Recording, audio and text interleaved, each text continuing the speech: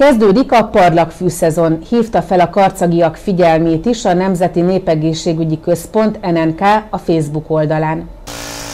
Az allergiások már erős tüneteket tapasztalhatnak a következő napokban. Ezek enyhítésére fontos a gyógyszeres kezelés, illetve a szakemberek tanácsainak betartása.